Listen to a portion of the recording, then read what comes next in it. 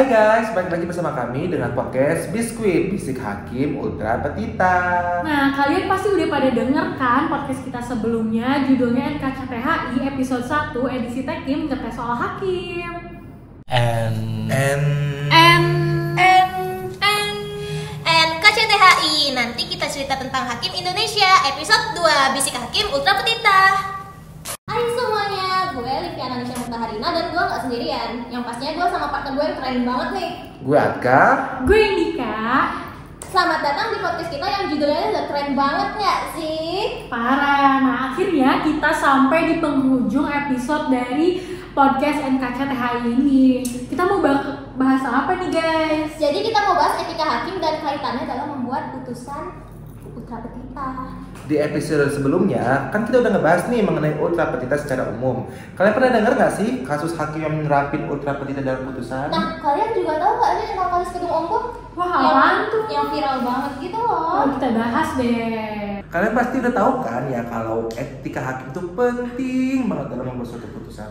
Hah, maksudnya putusan apa tuh? Putus cinta atau putus gimana deh? Masih belum paham gue. Ih, putusan yang itu loh, Di. Jadi kalau pas ada suatu perkara jadi di pengadilan, itu bakal sama yang namanya putusan yang di mana dalamnya itu ada amar putusan, guys. Jadi guys, hakim dalam membuat putusan ultra petita harus memiliki etika yang sesuai yang diatur, yang mana yaitu punya etika adil, jujur, profesional, dan berintegritas, berintegritas tinggi, supaya putusan ultra petita tersebut dapat membawa keadilan dan kebermanfaatan hukum itu sendiri bagi para pihak yang berperkara. Gitu ya. Nah, setahu gue juga ada sih mantan ketua Mahkamah Agung, namanya itu Bagirmanan. Dia itu nyebutin kalau suatu putusan ultra petita dapat dilakukan jika hakim punya pendapat lain. Nah, yang penting itu adil deh.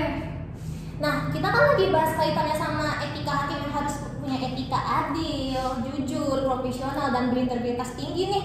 Yuk! Mau banget nih. Apaan tuh? Nah, jadi guys, ada tuh satu kasus tahun 1985 yang mungkin kalau di 2022 bakal viral banget gitu nggak sih? Nah, nama kasusnya itu kasus Kedung Ombong. Ya ampun, itu udah lama banget ya. Tapi gue pernah denger sih kalau penggugatnya tuh aja nyampe 34 orang. Terus menggugat pemerintah RI lagi. Takut banget loh. Oh iya benar banget, tapi saya ini jarang banget nih ada orang yang tahu kasus Kedung Ombo itu. Jadi Kedung Ombo itu ada waduk di Jawa Tengah yang dibangun pada tahun 1985. Nah waduk Kedung Ombo ini dibangun buat jadi pembangkit tenaga listrik dan bisa juga menampung air. Pengaruhnya sendiri udah dimulai dari 14 Januari 1989 Tapi nih guys, pembangunan waduk Kedung Ombong ternyata udah ngerugiin banyak warga Ngeliputin 37 desa di mana sebanyak 5.268 keluarga telah kehilangan barang kepemilikannya Akibat dampak dari pembangunan itu Sebagian besar warga meninggalkan desanya Gak serem banget ya Wah, kerugiannya serem udah serem banget nih. Ganti rugi aja dari pemerintah terhadap warganya sedikit banget gak sih? Iya. Nah, waktu 18 Mei 1991 saat Presiden Soeharto menjabat, ia mengesahkan pembangunan waduk ke Kedung Ombo di saat warga yang mengalami kerugian tetap berujung menuntut hak ganti rugi. Ih takut banget loh. Terus terkait ultra petita di kasus Kedung Ombo tuh gimana sih? Selama kasus ditangani dalam pengadilan, terjadi putusan ultra petita oleh majelis hakim yang menangani perkara ini di tingkat kasasi dalam putusan Oh, nomor gitu. 2263 kasasi garis miring perdata tahun 1991 yang mengabulkan ganti rugi material tapi dianggap lebih tuntutan penggugat. Soalnya, dalam gugatan yang menuntut ganti rugi eh, sebanyak 10.000 per meter, tetapi putusan kasasi menghukum tergugat untuk membayar 50.000 per meter untuk tanah dan bangunan serta 30.000 meter untuk tanaman.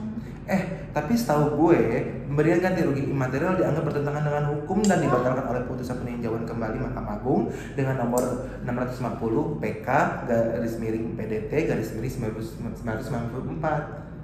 Iya, karena ultra petita guys itu. Nah, jadi pertimbangan hakim itu dalam menangani putusan perkara ini pas udah peninjauan kembali ada alasan tersendiri.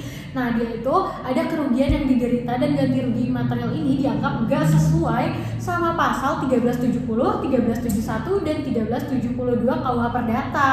Di mana pasal-pasal ini itu menentukan kalau ganti rugi material hanya dapat diberikan dalam hal tertentu saja seperti kematian, luka-luka, dan penghinaan guys. Wah, tapi keren sih. Gue yakin nih kasus bakal viral banget kalau di Parah. 2022 gitu. Iya. Apalagi majelis hakim di tingkat kasasi itu kayak nerapin banget tuh mohon putusannya seadil-adilnya bagi Iya. keluarga yang rugi kan ya. Berarti hakim dalam memutus gedung ombo itu sudah sesuai dong dengan etika yang diatur. dong. Iya. Iya dong. Karena hakim udah menerapkan etika adil dan berintegri- berintegritas tinggi dong dalam memutus suatu perkara yaitu gedung ombo. Iya benar banget kak. Jadi ternyata hakim itu dalam menegakkan keadilan itu perlu banyak banget yang dipertimbangin terlebih dalam menimbang suatu keputusan agar adil bagi para pihak yang berperkara serta memegang teguh prinsip dan etika hakim terutama etika adil dan berintegritas tinggi itu kak. Jadi kalau jadi hakim itu udah pasti hal sekecil apa pun tuh diperhatiin sih. Ih keren ya, apalagi di kasus gedung Ombo majelis hakim tingkat kasasi berani memutusin putusan yang dianggap adil bagi rakyat yang mengalami kerugian. Kalau ini sih gua mau aja diputusin sama hakim, Oh kita sama. Gue sepakat sih. Oke deh, sekian pembahasan podcast episode 2 NKCTHI edisi Bis- Biskuit Bisik Hakim terhadap putusan Ultra Petita.